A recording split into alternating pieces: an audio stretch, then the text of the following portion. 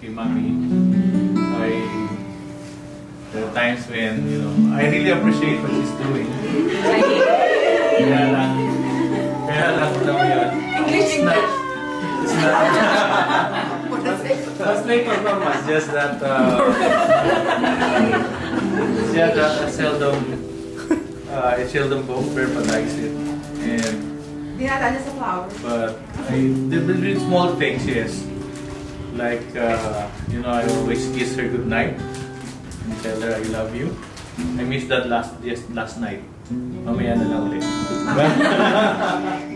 so I like to appreciate, really appreciate my mom. Mommy. She's such a great help. We could have, we could never, we could not have been here now without her, without her. And uh, she's, uh, I'm so blessed because she's a uh, wonderful woman of God. And she really loves God. And it's okay, she loves God more than me. More than she loves me. Mommy, happy, happy birthday, advance. Thank you. Um, um, we appreciate you so much. You're such an, an, a great in- inspiration to all of us. Um, hindi lang po ikaw maganda uh, panglabas, um, napakaganda mo even inside. Um, uh, we really learned so many things, so much from you, and how to love God, um, even in the times of uh, trials and very difficult um, situations ng buhay mo.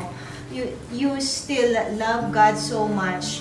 Uh, hindi ka bumibitaw and I really appreciate how you really um, prioritize God in your life. Ah, isa po kami sa mga family na na um, naging example ka um, to follow you and to imitate what you are doing for the love of God and for the love of men. And you're so uh, we're so blessed to to meet you and to know you and to be my spiritual mother in F12.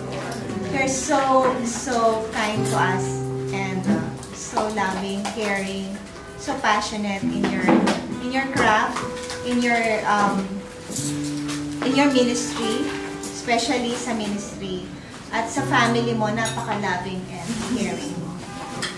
Um, all the best and we wish you uh, that we pray that God will grant all the desires of your heart. Yeah. God bless you, Mommy. God bless you. Ma'am Shi, happy happy birthday. Thank you. You know that I love you so much. Uh, uh, you're like ano, English pa. you're like a mother to me, you know. that. Oh, ikaw ulit kay Anjo. You're like a mother to me.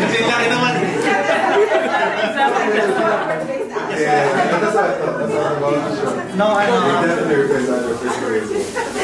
one thing that I one thing that I really appreciate about ano, uh, Ma'am Shi, uh, she always had this um, parang ano, alam niya whenever I'm going through something. Radar.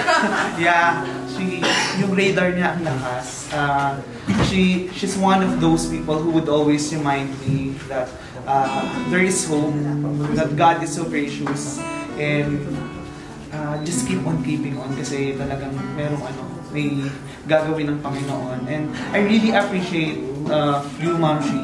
Hindi niyo lang po alam kung paano niyo po natouch yung, uh, yung puso ko, yung buhay ko. And I praise and thank the Lord sa buhay niyo po. And I pray, sabi ko nga, lagi ko pong uh, dasal, sana ano, dumating yung time na makapag-give po kami sa inyo ano, ng at may balik at may balik ni Lord yung uh, at may balik po ni Lord yung blessings, yung mga efforts niyo a thousand folds, more than what your mind can think of or imagine. God bless you and I love you so much.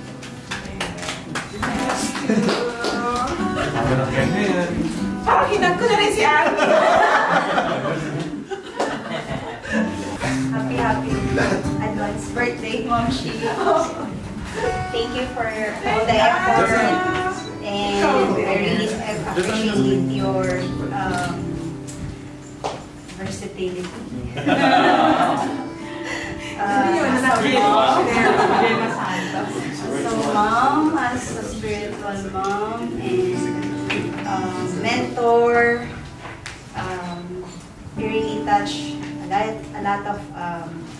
People and I heard a lot of good things from them.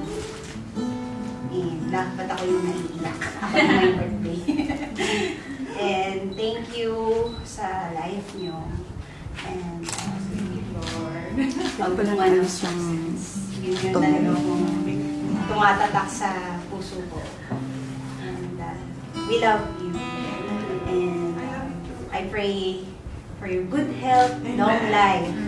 Love you, prayers. Yes, long life for God's kingdom. For His Love you, Ma'am Shi. Si Andrew yan ang mga Wala. mag-share Si din. Kai. Ito, he's one of the original. Kasi the very, very first Victoria's Giving Seminar of ACCI, he was one of the invited guests. Until now, still the best. Ako po, I feel so blessed and thankful, so grateful to the Lord for your life. Uh, for many reasons, pero what always remind me of uh, is what I always want to, to share sa life lesson namin, even to other people na namimit ko. Uh, I told them na uh, our, our spiritual mom always share to us uh, that uh, you have to honor the Lord with your wealth and with the best part of everything uh, you produce. Hmm, ah, kasi hindi naman po kayo nasa atin na nasa Pastora Shane po at ah, ang aking lovely wife na si Jinky, sila po yung uh, nag-handle po ng ah, finance. So so with, with that uh, with that case po no, uh, I, I also uh, I know something about on what they're doing. And what inspired me a lot is uh, uh, about the heart of Pastora Sheila. The way, the way she gave everything to the Lord. Hindi ko na nasasabihin yung amount na nalalaman ko. Pero it's very unusual na, di ba, sabi nga, to, to follow your, your, the one who's leading you, uh, they should lead an example first. And whenever I remember that, o those huge amount na ino-offer nila kay Lord, it's not about the finance, it's not about the amount. But it's a matter of how faithful their heart and how obedient her heart. Kaya yun yung palagi ko ini-example. Uh, wag, wag tayong maging uh, maramot at tikom ang palad natin sa ibang tao kasi uh, yung nag-lead sa atin, they give it generously sa church. And I know how how they're doing it. So, for me, I'm always inspired. Uh, kapag sinishare ko yun na, uh, baka iba hindi naniniwala. Pero ako, ako uh, saksi ako, nakikita ako. So, I'm just quiet and silent, but I'm just thankful, no? Uh, we are following and uh, we are being led by the parents or by the mom and dad na talagang faithful uh, sa paglakad sa Panginoon. And then they are doing a good example and hopefully I'm also praying uh, that I could do the same. Not just on doing the tithes, but also on faithfully uh, serving the Lord and serving the others. Basta maraming maraming salamat. Thank you.